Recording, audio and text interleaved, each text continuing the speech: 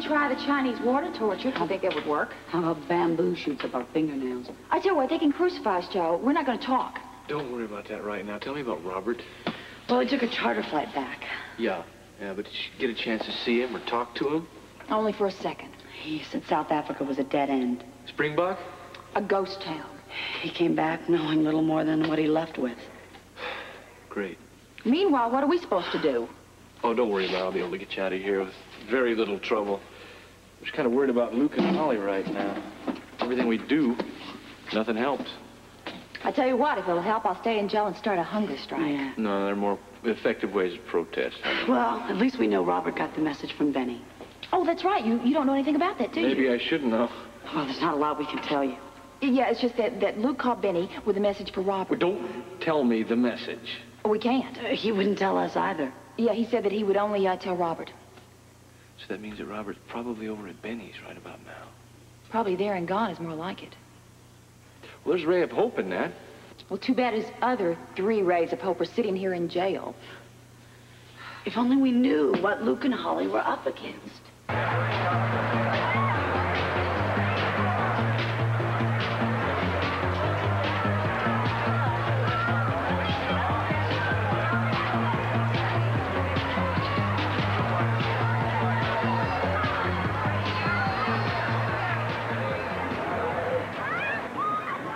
You're right. They're not in there.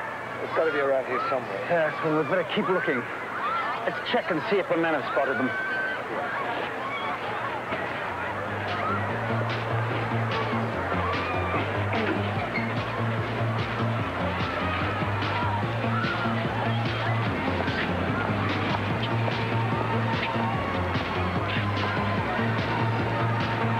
Best place is still inside this den. No sign of Scorpio.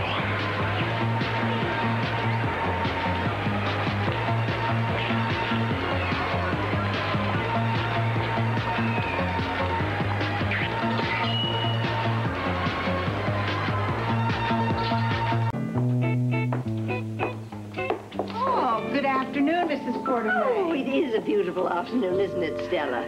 Uh, is that Alan's car I saw in the driveway? Yes, it is. He and Mrs. Quartermaine have the afternoon off. Oh, how lovely. Where are they? In the living room. Oh, I just, I'll just drop by and, and say hello to them. Uh, Mrs. Quartermaine, I better warn you. Uh, Mr. Baldwin's been here. They've had very bad news. Oh? We could sell the house. Sell the house. That's your answer to everything now. I'm just tossing out ideas. Well, toss it back in again, Monica. I've got two weeks to find an answer still. I've got it. We will have an Alan and Quartermaine $100 day. We will have games, booze, and everything will cost $100. Now, hang on to that one. I might consider it in the future. Hello, my dears. Hello. Hello, Mother. I've been told this bad news. Oh, You won't believe it. I've got... Mother, you are my solution. Me, dear? What could I possibly do? Lee has informed Alan that he has to give Jason Moore a million dollars. Payable almost immediately.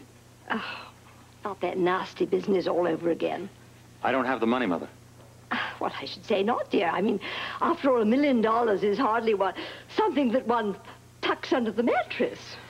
Well, Lee has uh, told Alan he could be in very big trouble if he doesn't find the million dollars. Uh, how big a trouble? Big I'm enough not to go to jail.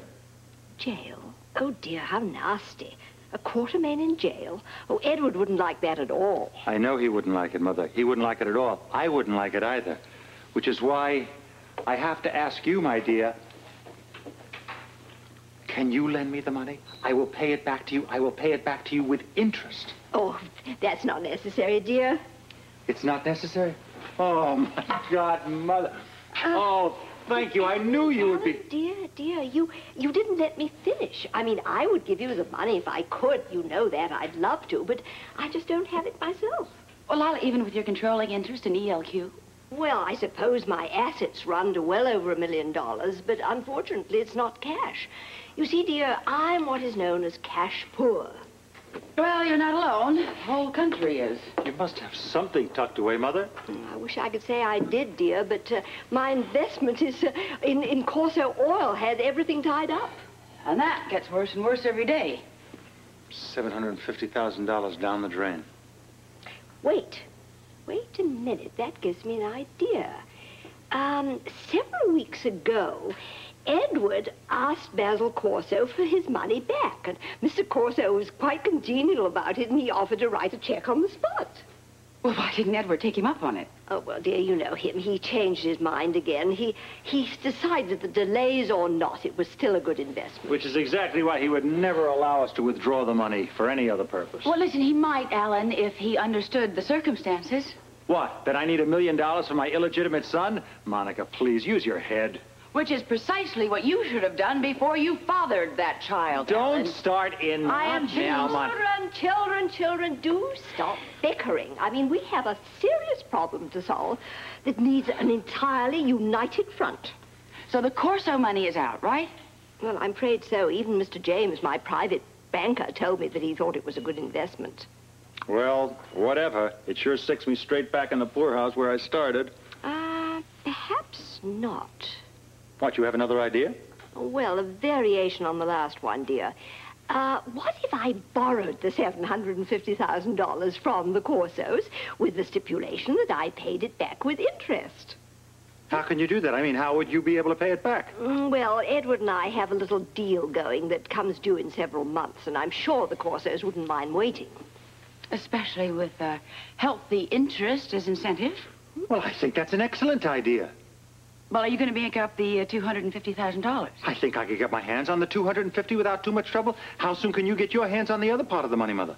Um, well, dear, I tell you what, why don't I go over and visit the Corsos this very afternoon? They were such lovely men, and it would be delightful to see them again.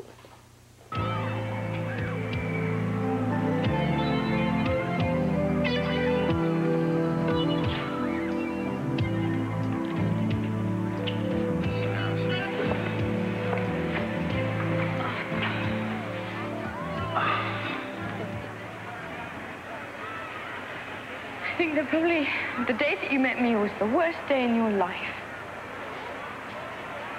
No, actually, the worst day in my life was a little earlier than that. It was, uh, I think it was about 1964. It was late in summer. I think it was a Thursday afternoon. What happened is I had a, an appointment at the dentist's office. I had three impacted wisdom tooth, terrible pain, and I went there and he had no pain medication whatsoever. Cold turkey, he pulled those suckers out of my face. That was the worst day of my life. This is grim, but that was a bad day. Come on, smile. Hold on, Scorpio will be here. Do you really think he's coming? Hey, baby. I stake my life on it. Let's get up there, out of sight. Come on.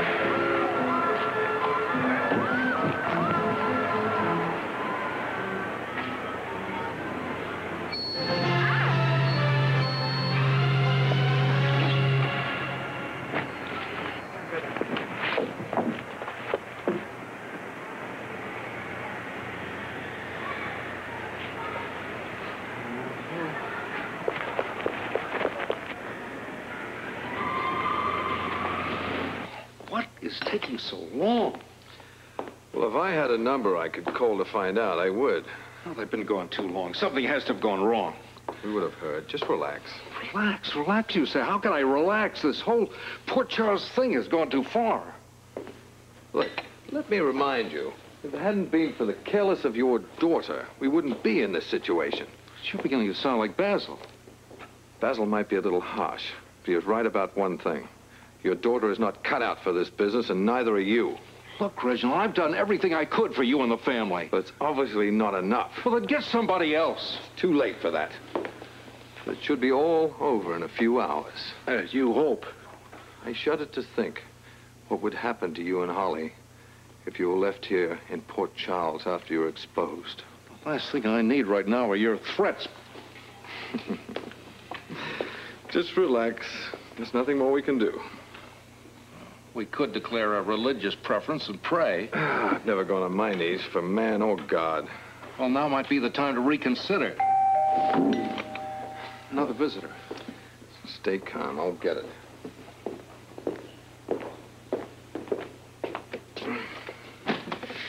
I'm sorry, we gave it the office. Oh, no, Reginald, it, it's Mrs. Quartermaine. Lila, uh, come in, please. You know, I haven't solicited donations door to door in quite some time. Yes, uh, this is my cousin, Reginald Corso. I do hope you'll forgive me for my blunder, Mrs. Quartermaine. Oh, it was a most understandable mistake, Mr. Corso. Well, won't you sit down? Thank you. There we are. You have nice. Um, have I come at a bad time? What would make you say that? well, you both seem a trifle nervous. I hope there's nothing wrong. See, Charles and I were waiting on uh, the result of a foreign oil deal that uh, has been going on for some time. Oh, yes, I know very well how exasperating that can be. well, it'll be all over soon. Is uh, this visit of a social nature, Mrs. Quartermaine? No, no, it's business. Do you mind if I come straight to the point? No, go right ahead. well, it's very simple, really. I'd like to borrow back the money that I invested in Corso Oil. The, the whole amount? Uh, yes, the entire $750,000 worth. You're not serious. Yes, I'm afraid I am. You see, a family crisis has arisen. Well, that is unfortunate, but... Uh, We'd be happy to write you a check, Mrs. Quartermaine. Immediately? well, if we could, you see, Basil is our uh, treasurer, and he must have his signature on every check. oh, he's not in? I'm afraid not. Oh, well, then I'll wait, that's all right with you. Uh, I have nothing planned this afternoon. you don't understand. He's out of town. Oh, dear, this is very unfortunate. Uh, you couldn't wait a couple of days, could you? Well, I'd hoped to get everything in motion long before that, but it seems that I have no choice. Unless, Uh, yes? um, uh, Sean Valley at the back, he's an old family friend, and I'm sure I could get him to okay the transaction without involving Basil. Oh, let me call him. Uh, Mrs. Quartermaine, I, I don't think that... Oh, it's no trouble at all. Uh, oh, dear, what's the matter? Charles, are you all right? No, it's all the excitement. What can I do? Uh, it's, it's all right. Uh, my, my pills, Reginald, Yes. please. Um, I think we should call a doctor. Uh, no, no, no, no. It'll, it'll pass. Uh, just... Oh, thank you. It's, uh, I've been working and worrying too much lately. and it has a way of building up. Why don't we uh, hold off calling Mr. Valley? Charles is in no condition to go through this. Oh, I understand perfectly. Edward, uh, he's my husband. He often works himself up into these states. Uh, no, we'll wait until Basil returns. Oh, thank you. Thank you, Miss Quartermaine. Well, we'll be in touch in a Yes. couple of days. Right. Uh, no, please don't get up. Don't get up. I can find my own way to the door.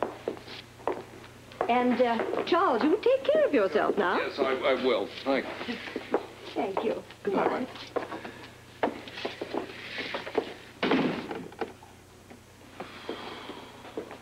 Thank you. Yes, I guess it was. I think uh, Basil even would have been impressed. Don't you?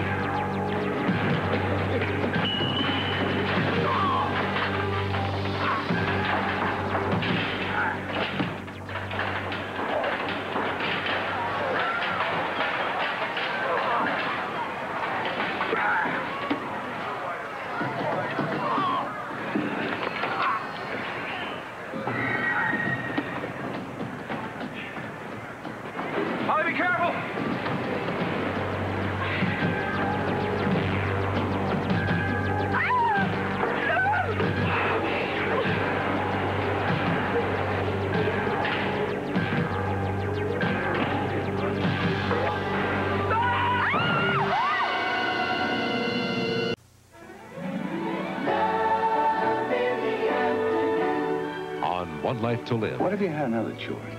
Between what and what? Between an acting career and settling down with a nice fellow. Is this a proposal? Well, if it was, would you accept? And on the edge of night. You have to at least stay for a nightcap. Baby, you really think that I owe you something?